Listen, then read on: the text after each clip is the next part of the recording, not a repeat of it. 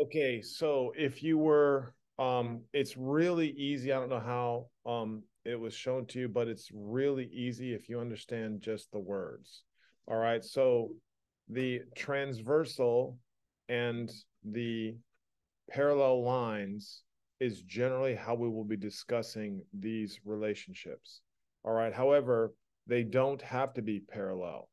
All right, if they're not parallel, then we can't uh, prove what angles are congruent. So right now, I want to just go through these because I felt this was helpful. In the past, I thought people just knew, all right, but they don't. So everybody should be able to tell me three, four, five, and six are interior angles. Interior of what? Interior of these two lines. All right. They're on the inside. All right. Now, if those are on the inside, then the exterior angles would be what?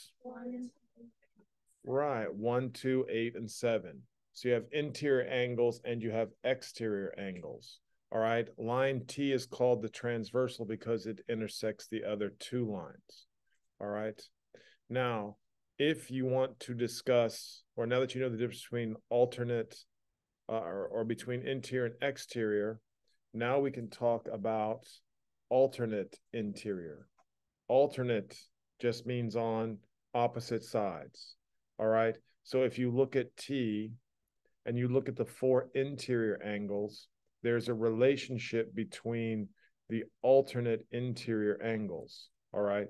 And if you remember, your alternate interior angles, if the lines are parallel, are always congruent.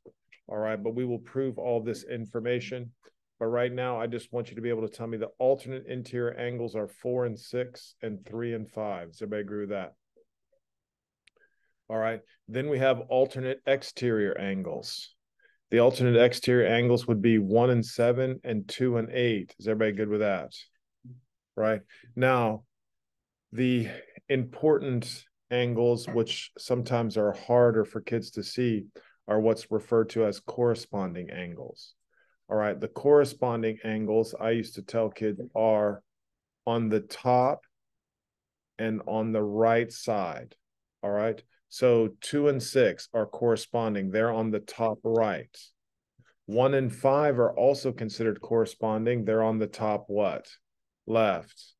Corresponding angles. Four and eight. Those are bottom what? Left. And three and seven are what? Bottom right. All right. So corresponding angles are in the same relationship. All right. With the other angle. Hopefully that makes sense. All right. So we have corresponding angles. We have alternate interior. We have alternate exterior. And now we have what's referred to as the same side interior or consecutive interior.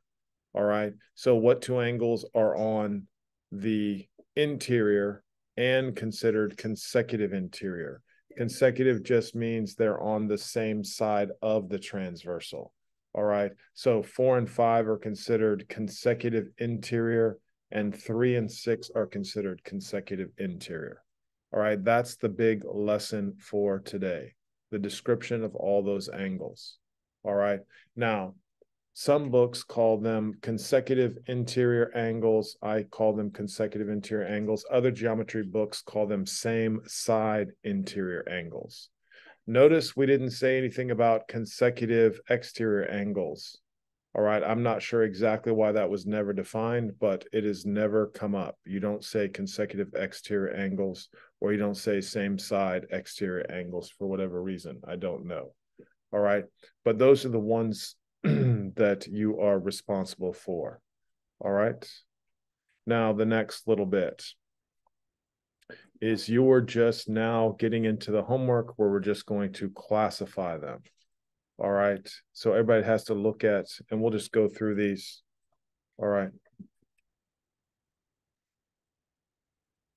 So one and eight are called what? Yes. Two and four.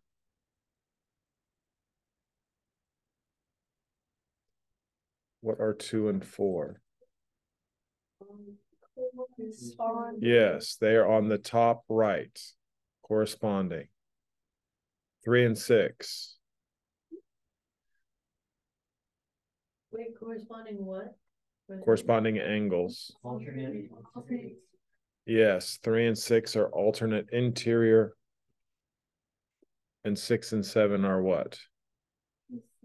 Yes, consecutive interior. So I think once you understand interior, exterior, um, it becomes much easier. All right. Now, let's review. All right, because none of those were uh they didn't tell you they were parallel. So let's now make some parallel lines. All right. And I think tomorrow we get into all the proofs. But if these lines are parallel here and these are parallel, that's the sig or that's the uh, symbol for parallel. All right.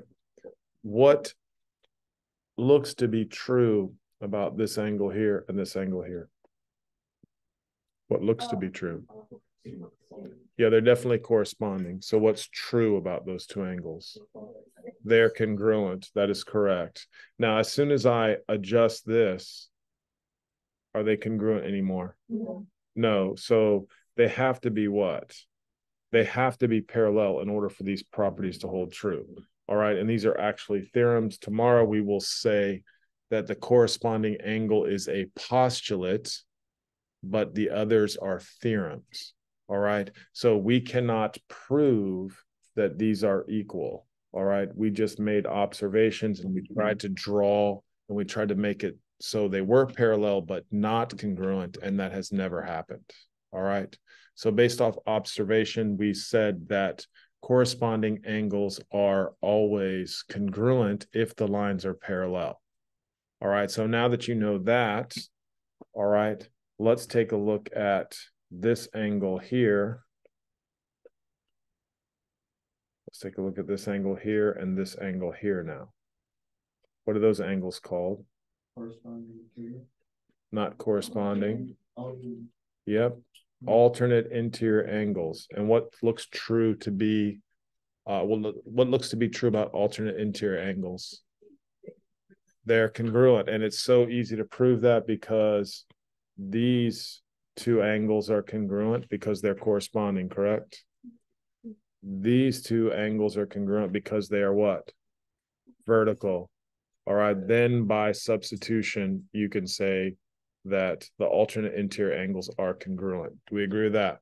It's super easy. Super easy. All right. Even if you don't think you know, you could just logically look at that and say all of the obtuse angles are probably what? Equal and all the acute angles are probably what? Equal. That's how easy this is. All right. So if we were looking at alternate everybody look at alternate exterior angles. What looks true about the alternate exterior angles? They are congruent right? They're on opposite corners so they are what? Congruent because they're either both obtuse or they're both what? Acute Exactly. That's how easy this is. Even if you forget everything I'm telling you, all right, it's easy to reproduce and easy to think logically about it and just say, you know, it's true. This section is super easy, probably the easiest one we're going to be doing. All right. So, again, if I look now at consecutive interior angles, are the consecutive interior angles congruent? Mm-hmm. No, because one of them is, and one of them is so anytime you have an acute and an obtuse, they will always be what? Not. They will be what? Someone else. They're def well, they could be equal if they were perpendicular. All right. If the transversal was perpendicular, they would be congruent. So what's true? You're supposed to make a little observation. What is true about this angle right here and this angle right here, or about this angle right here and this angle right here? They're what? That is correct. They are supplementary. All right. How do we know they're supplementary? Well, because we know that these two angles form a linear pair, which means they're supplementary. Do we agree with that? And we know that this is equal to this, correct? So if we know this plus this is equal to 180, I can substitute this in for this, and then you'll have those two angles equal to 180. Does everybody make sense on that? It's super, super easy. All right. So consecutive interior angles are supplementary. However, we can go one step further and say whenever you have an acute angle, regardless of where it is, and there's an obtuse angle, we automatically know they have to add up to what? 180. So again, I was always puzzled by the fact that they don't say alternate exterior, all right, because uh, or consecutive exterior angles. What's true about consecutive exterior angles? They added twenty. They add up to 180, right? It's just that simple. All right. The acute angles are congruent. The obtuse angles are congruent. Acute and obtuse always add up to what? 180. That's how simple this section is. All right. So, with that little bit of information now, all right, we will look at this figure over here.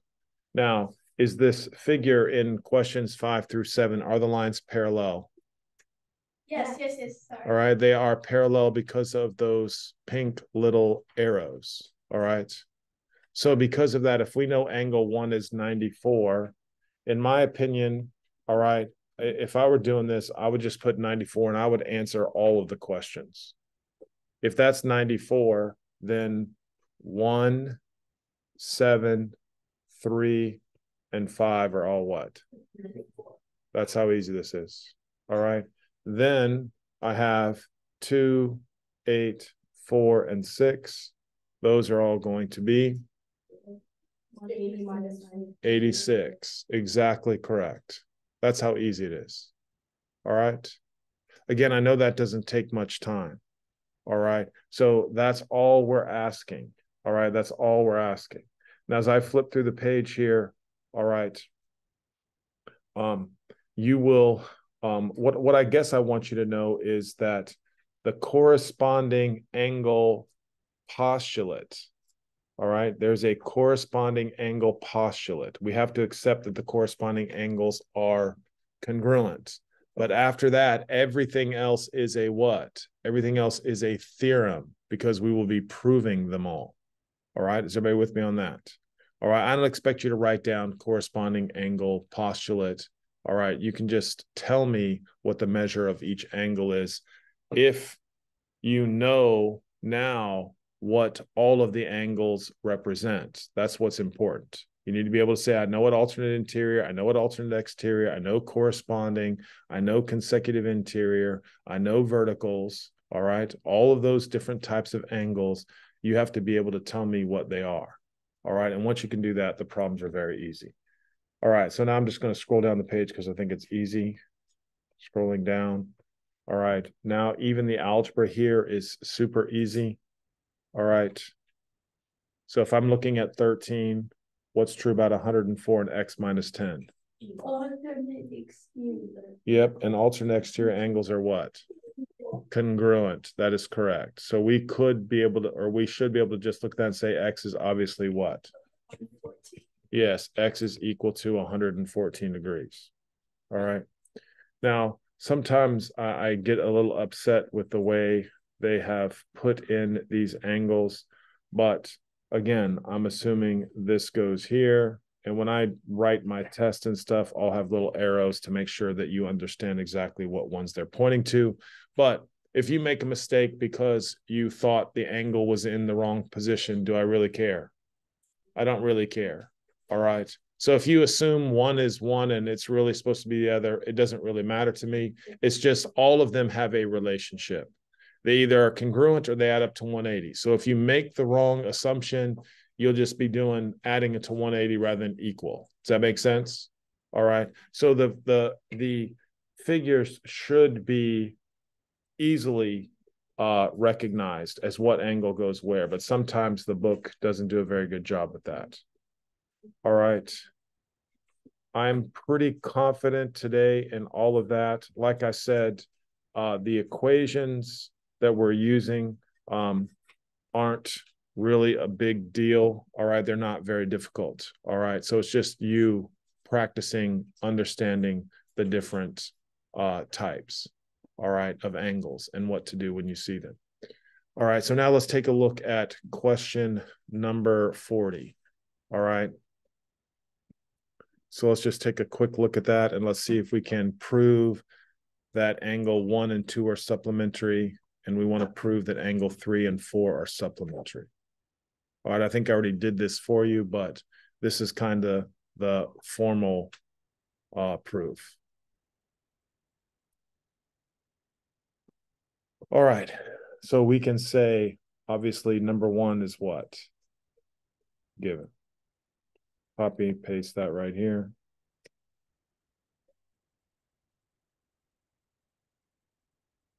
So we have that. Wait, what does that given even mean? Can someone help him? What does the given even mean? What, that's right. That's exactly what that means. M is parallel to N. All right. I think in in uh when I write it now, I will say when you say parallel, it's supposed to be more of a slanted line. You with me like that? But I think the only thing they have right now is those vertical lines. All right. So that's the symbol for parallel most of the time. All right. Now, angles one and three form a linear pair, and angle two and four form a linear pair. So what can we say? I think that's just the definition of what? Linear pair. I'm okay with that. How could it be a definition if we just used it from, like, like we just said they are a linear pair. So how is that the definition of a linear pair? Well, what do you want it to be? I, I don't know what it should be, but why is it just the definition if we have we know that they are linear. What's the definition of linear pair? Two angles add to 180? Two angles that are adjacent to each other. Right, that add up to 180 degrees. Okay. All right.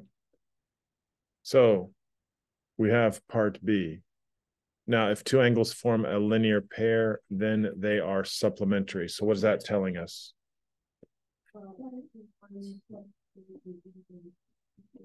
Yes, I like it. Angle one plus angle three equals 180 degrees.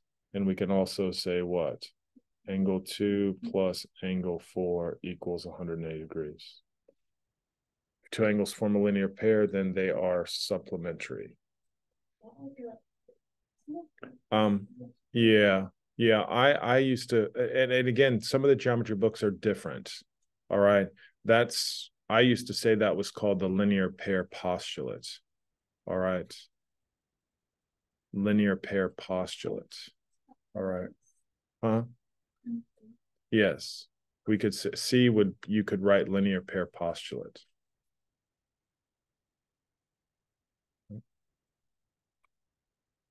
Now, why is angle one congruent to angle four? And angle two congruent to angle three. You're right. Alternate what? Right. If two lines are parallel, then the alternate interior angles are congruent, right? So one is congruent to four and two is congruent to three. And I used to write down alternate interior angles are congruent. And if you want to write down alternate interior angle theorem, that's fine. I just like to write alternate interior angles are congruent.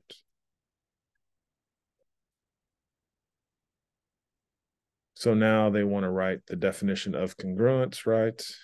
Angle one is equal to angle four and measure of angle two is equal to measure of angle three.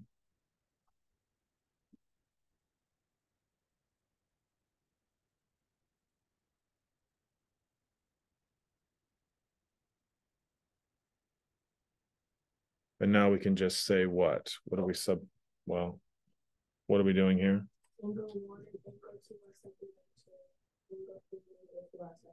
Yes, exactly.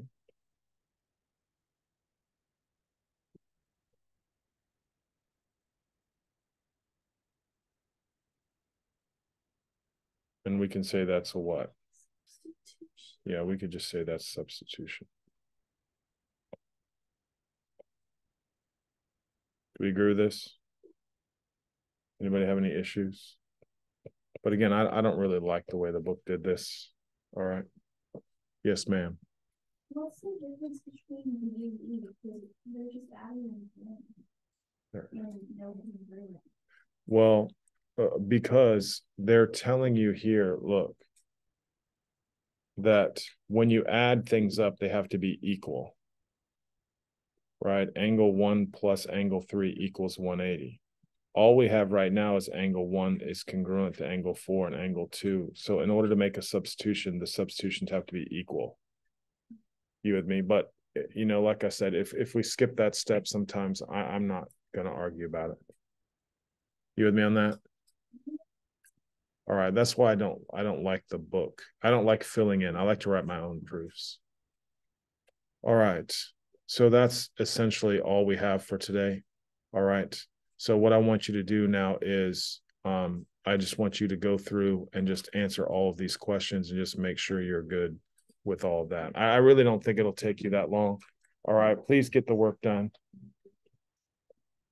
If you have any questions, you can let me know.